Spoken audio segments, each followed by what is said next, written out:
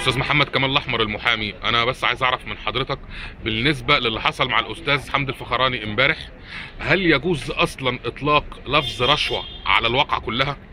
هو فعلا يجوز إطلاق رشوة لفظ رشوة على على واقع واقعة الضبط بالنسبة للأستاذ حمدي الفخراني لأنه يمثل جمعية مكافحة الفساد اللي هي وهي جمعية مشهره وأموالها أموال عامة وبالتالي هو لا يمثل نفسه بل يمثل المؤسسة التي ينطبق عليها قانون الأموال العامة وينطبق عليها قانون الرشوة.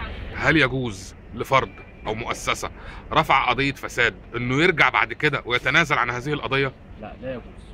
طيب ليه بقى أستاذ حمدي الفخراني طلب رشوة طالما هو رفع قضية وما ينفعش يتنازل عنها؟ طب كان هياخد فلوس رشوة على أي أساس؟ آه، على أي أساس إن هو يغير أقواله. يعني لو أستاذ حمدي الفخراني غير أقواله تسقط تبوظ القضية. آه. هل الإجراء اللي حصل مع أستاذ حمدي الفخراني وعملية القبض عليه ده كان إجراء قانوني أصلا؟ هو إجراء قانوني لو في توفر فيه شروط. اللي هم؟ اولا آه ورد تحريات تحريات للنيابة. تحريات للنيابة بإن في واقع رشوة وتأكدت النيابة من صحة المعلومات الواردة بالتحريات دي ومن جديتها وبالتالي الإجراء اللي بعديه آه، النيابة بتستصدر أمر بتسجيل وضبط وإحضار المتهم وبالتالي لو الإجراءات دي مش سليمة بي- الإجراء بيبقى سليم 100% في القانون. القانوني طيب آخر سؤال لحضرتك. لو ثبت فعلا تهمة الرشوة على الأستاذ حمدي الفخراني. آه. عقوبته كام سنة سجن؟ هو العقوبة بتبدأ من سبع سنين ل 15 سنة.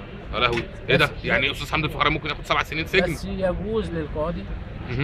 النزول بالعقوبة. النزول بالسبع سنين. آه النزول بالسبع سنين. يعني الحد الأدنى لعقوبة الرشوة سبع سنين آه. والأقصى 15 سنة.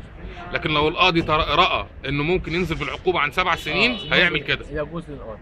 يجوز؟ آه وفي محاكم كتيرة ماشية على هذا المنوال زي قضية آه، حبيب العدلي في في في السخرة. آه.